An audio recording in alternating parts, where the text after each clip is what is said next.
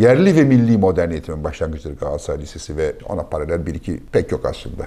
Galatasaray Lisesi bir numaradır evet. Lise olarak. Çünkü o sırada Galatasaray Lisesi benzeri okullar var Türkiye'de. Ama bunların tamam yabancıların. Amerikalı misyonerlerin, Fransızların, Fransız misyonerlerin, işte Katolik okulları, Protestan okulları falan böyle hepsinde belli, belli bir dini şey var ve Anadolu'yu bunlar sarmış vaziyette. Yani emperyalizm okullar vasıtasıyla Anadolu'yu sarmış vaziyette. Yani Tarsus'ta da, Harput'ta da bilmem nerede Amerikan okulları falan var. Galatasaray Lisesi eş, yaşta belki biraz önce falan. Galatasaray Lisesi bugün bazılarının işte Jacoben, Batı özentisi, yerli ve milli değil falan dediği o lise bu cahil cühela öküz tayfasının anlamadığı bir şekilde Türkiye'nin emperyalizmin yayılma politikalarına vermiş olduğu milli eğitim cevabı. Bunu kuran, Abdülaziz zamanı galiba yanlış hatırlamıyorsam, bunu kuran irade emperyalizme karşı kültürel mücadelenin iradesidir. Türkiye'de aydın yetiştirmenin okullarından biridir Galatasaray ve bu amaçla kurulmuş. Yerli ve milli aydın yetiştirmek için.